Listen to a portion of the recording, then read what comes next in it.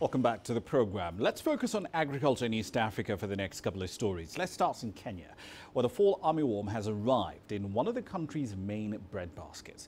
CGTN's Vik Chege spoke to one of the affected farmers and filed this report. These are the telltale signs of the tiny but destructive fall armyworm. The pest has made its way into Kenya in recent weeks and the results are already evident. Charles Weko is one of the first farmers to report the infestation. I don't see many prospects for this year's crop yield compared to last season's. There is a big difference. The armyworm has been making its way through the continent, laying waste to hundreds of thousands of hectares of farmland. Charles, like many other farmers here, has sunk a lot of money into his farm and it all seems to have vanished down the throats of the armyworms. I took out a loan, but this pest has affected us, and the Acre Fund still wants its loan repaid. If the government doesn't intervene, we might even be jailed because of how much we owe. The armyworm is capable of laying waste to entire fields in a matter of days.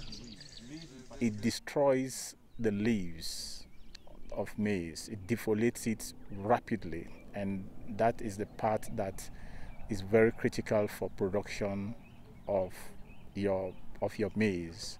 There are a number of ways to deal with the pest or at least to minimize its effects. The use of pesticides, which is possible, again, but it all has its advantages and disadvantages. And um, of course, cultural control uh, is also key. Um, agronomic issues like um, doing things that will not also uh, rapidly facilitate the movement of the pest from one location to another. The Kenyan government is trying to raise awareness, teaching farmers how to tackle the problem. It has fast tracked since the outbreak. It has been able to buy chemicals to farmers, specifically halbers. We have done a lot of demonstrations with the farmers and a lot of sensitization. However, the high cost of pesticide means farmers are going to have to dig deeper. It's very expensive because a farmer is able to spend like $20 for one liter of that chemical.